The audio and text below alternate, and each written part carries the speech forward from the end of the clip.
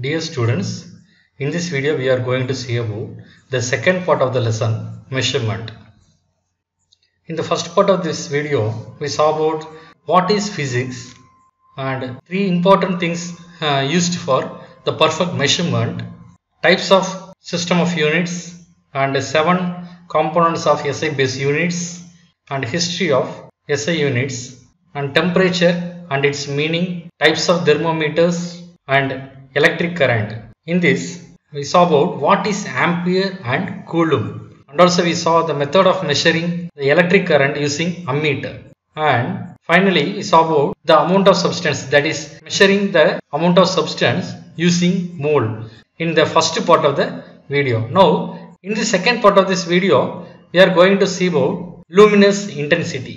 அதாவது ஒளிச்செறிவு இந்த படத்தில் பாருங்க இந்த கிரிக்கெட் மேட்ச்ல அம்பையர் வச்சிருக்கக்கூடிய இந்த கருவியினுடைய பெயர் என்ன? இன்ஸ்ட்ருமெண்டோட நேம் என்ன? அப்படின்னு பார்த்தோம்னா இது வந்து போட்டோ மீட்டர் அப்படின்னு சொல்லுவோம். This photometer is used to measure the intensity of light அதாவது ஒளியினுடைய செறிவை அளப்பதற்கு பயன்படுகிறது. The SI unit of luminous intensity is called candela and it's denoted as CD so ஒளியினுடைய செறிவை அளக்கக்கூடிய யூனிட்டுக்கு பேர் கேண்டலா அதை வந்து சிடி என்ற எழுத்தால நம்ம குறிப்பிடுகிறோம். One candle is equal to light emitted from a common wax candle ஒரு மெழுகுவர்த்தி சுடரிலிருந்து வெளிவரக்கூடிய ஒளியானது தோராயமாக ஒரு கேண்டில் அதற்கு சமம். The luminous intensity is measured by photometer ஒளியினுடைய செறிவானது போட்டோமீட்டர் என்ற கருவியால் அளக்கப்படுகிறது. இதன் மூலமாக நம்ம கேண்டலாங்கிற ஒரு அளவீடை நேரடியாக பெற முடியும். அடுத்தது நாம் பார்க்கிறது plane angle It is the angle between the intersection of two straight lines or intersection of two planes.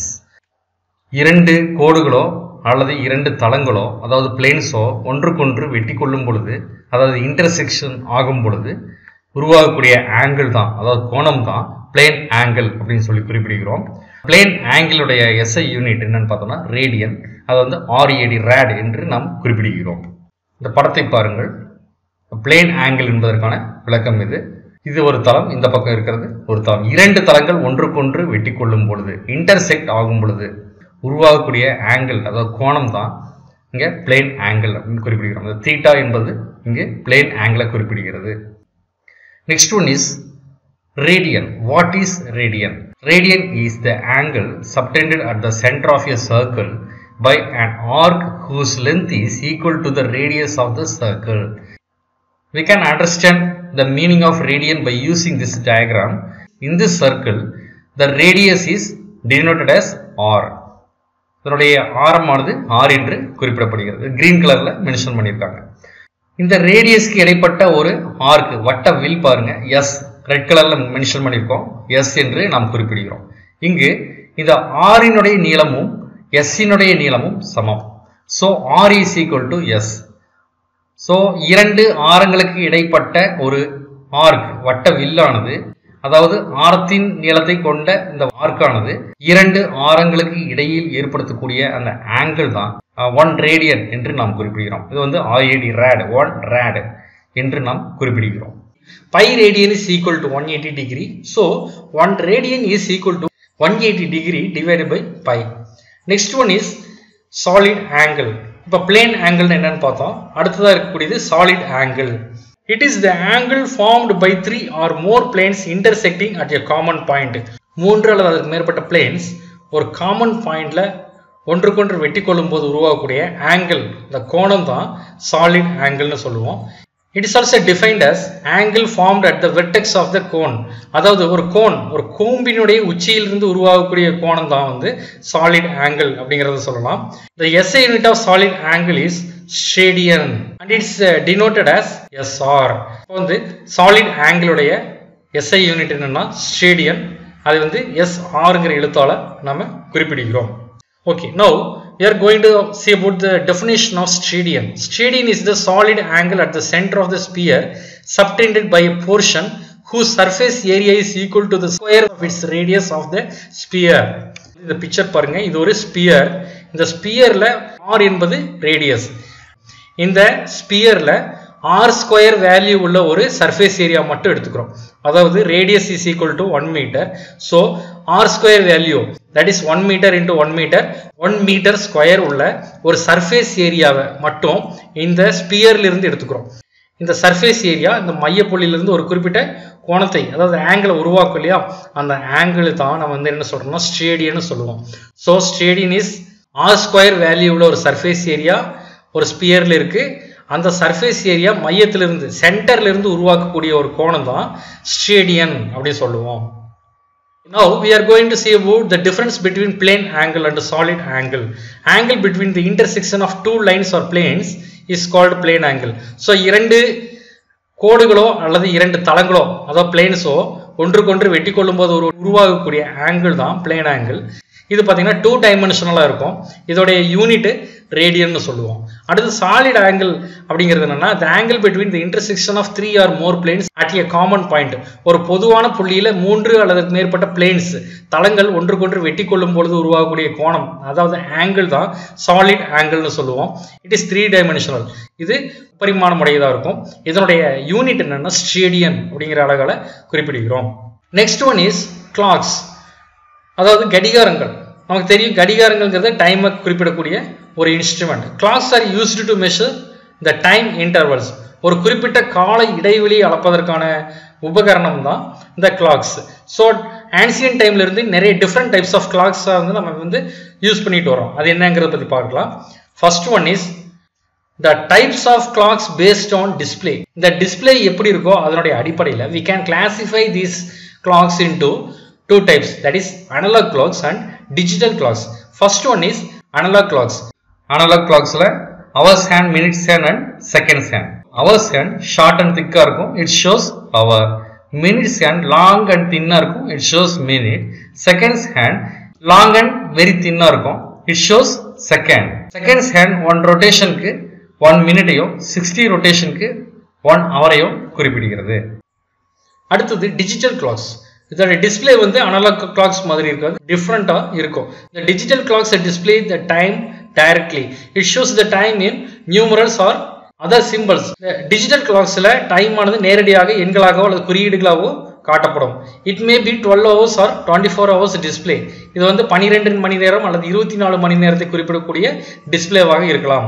Recent clocks are showing date day month year and temperature நாள் கிழமை மாதம் வருடம் அதனுடைய சராசரி வெப்பநிலை இது போன்றவற்றையெல்லாம் குறிப்பிடக்கூடியதாக இந்த டிஜிட்டல் கிளாக்ஸ் இருக்கும்.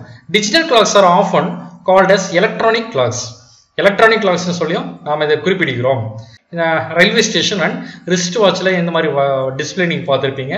இது வந்து டிஜிட்டல் கிளாக்ஸ் அடுத்தது types of clocks based on working mechanism செயல்பாட்டினுடைய அடிப்படையில் இந்த கிளாக்ஸ் வந்து பார்த்தீங்கன்னா குவாட்ஸ் கிளாக் அண்ட் அட்டாமிக் கிளாக்னு சொல்லி டூ டைப்ஸாக பிரிக்கலாம். குவாட்ஸ் கிளாக் பாருங்க. குவாட்ஸ் கிளாக்ங்கிறதுன்னு பார்த்தீங்கன்னா electronic oscillations which are controlled by quartz crystal quartz கிளாக்ல வந்து குவாட்ஸ் கிறிஸ்டல் குவாட்ஸ் படிகம் இருக்கும்.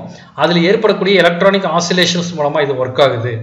The quartz clock is more accurate than the mechanical clock அதாவது இயந்திர வகை கடிகாரங்களை விட இந்த குவாட்ஸ் கடிகாரம் வந்து நல்லா அக்யூரேட்டாக இருக்கும்.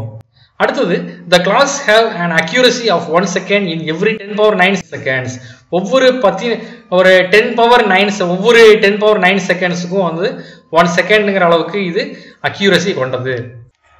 Next one is atomic clock atomic கிளாக்ங்கிறது very advanced clocks these clocks are making use of periodic vibrations occurring within the atom ஒரு அணுவிற்குள்ள ஒரு ஆட்டம்குள்ள இருக்கக்கூடிய ஏற்படக்கூடிய பீரியாடிக் வைப்ரேஷன்ஸ் மூலமா இந்த கிளாக்ஸ் ஒர்க் ஆகுது. This clocks have an accuracy of one second in every ten power thirteen seconds ஒவ்வொரு ten power thirteen செகண்டுக்கும் ஒன் செகண்டுங்கிற அளவுக்கு இதோட அக்யூரசி இருக்கும். Atomic clocks are used in global positioning system அதாவது க செல்ஃபோனில் நமக்கு பார்த்துருப்போம் ஜிபிஎஸ் இருக்கும். இந்த GPS global navigation satellite system international time distribution services இது போன்ற இடங்களில் வந்து அட்டாமிக் கிளாக்ஸ் தான் யூஸ் பண்ணுறாங்க மெஷர்மெண்ட்ல இருக்கக்கூடிய ஒரு முக்கியமான பாயிண்ட் அக்யூரசி அண்ட் ப்ரிசிஷன் இந்த ரெண்டையும் பற்றி பார்க்கலாம். Accuracy is the closeness of the measured value to the actual value or true value நாம் எடுத்த வேல்யூ தான் மெஷர்ட் வேல்யூ அந்த value actual value or true value அதை உண்மையான மதிப்புக்கு எவ்வளவு நெருக்கமாக நாம் எடுத்த மதிப்பு இருக்கிறது என்று பார்ப்பது தான் அக்யூரசின்னு சொல்லுவோம். அதாவது துல்லியத்தன்மைன்னு சொல்லுவோம். Precision precision is the closeness of two or more measurements to each other science எக்ஸ்பெரிமெண்ட்ஸில் பார்த்தீங்கன்னா ஒவ்வொரு சோதனைக்கும் ஒன்றுக்கு மேற்பட்ட அளவீடுகளை நாம் எடுக்க வேண்டியிருக்கும். அதுபோல எடுக்கும்பொழுது ஒவ்வொரு சோதனையிலும் நாம் எடுக்கக்கூடிய ஒன்றுக்கு மேற்பட்ட அளவீடுகள் ஒன்றுக்கொன்று எவ்வளவு நெருக்கமாக அமைந்துள்ளது அப்படிங்க பார்க்கறது தான் precision so accuracy is differ from precision அக்யூரசிங்கிறது உண்மையான அளவிற்கு நாம் எடுத்த அளவீடு எவ்வளவு நெருக்கமாக அமைந்துள்ளது என்பதை பார்ப்பது அதே நேரத்தில் ப்ரிசிஷன்கிறது நாம் எடுத்த ஒன்றுக்கு மேற்பட்ட அளவீடுகளில் ஒன்றுக்குடன் ஒன்று எவ்வளவு நெருக்கமாக அமைந்துள்ளது என்பதை பார்ப்பது precision next one is approximation தோராய முறை. Approximation is the process of your finding a number which is acceptably close to the exact value of the measurement of your physical quantity. Approximation அப்படிங்கிறது என்னன்னா ஒரு துல்லியமான அளவீட்டிற்கு எவ்வளவு நெருக்கமாக ஒரு அளவீடு முறையை பின்பற்றாமல் நம்மால் எடுக்க முடியுமோ அதுதான் வந்து தோராயமான முறை. அதாவது அப்ராக்சிமேஷன் சொல்லுவோம்.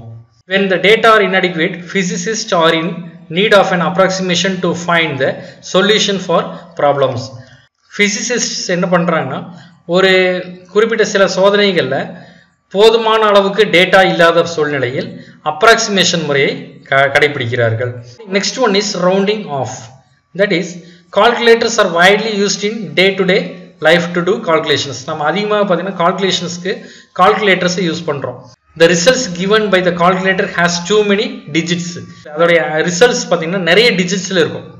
அப்போ நிறைய டிஜிட்ஸ் இருக்கும். நம்ம வந்து அதில் வந்து ஒரு three digits or four digits இந்த மாதிரி ஒரு குறிப்பிட்ட அளவு டிஜிட்ஸ் மட்டும் நமக்கு போதுமானதாக இருக்கும். அதற்கு பின்னர் உள்ள டிஜிட்ஸ் எல்லாம் நமக்கு தேவைப்படாததாக இருக்கும்.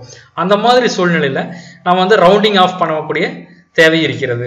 Hence the result containing more digits should be rounded off அதிகமாக உள்ள இலக்கங்களினுடைய டிஜிட்ஸை வந்து ரவுண்டட் ஆஃப் பண்ணிக்கலாம். The technique of rounding off is used in many areas of physics நிறைய ஃபிசிக்ஸில் நிறைய இடங்களில் வந்து ரவுண்டிங் ஆஃப் பயன்படுகிறது. The rules for rounding off rounding off பண்ணுறதுக்கு சில ரூல்ஸ் இருக்குது அது என்னங்கிறது பார்ப்போம். Decide which is the last digit to keep அளவீட்டு மதிப்பில் எந்த டிஜிட் வரைக்கும் நமக்கு தேவை என்பதை நாம் முடிவு செய்து கொள்ள வேண்டும். அதாவது மூன்று டிஜிட் வேணுமா நாலு டிஜிட் வேணுமா அப்படிங்கிறத ஃபஸ்ட்டு டிசைட் பண்ணிக்கணும்.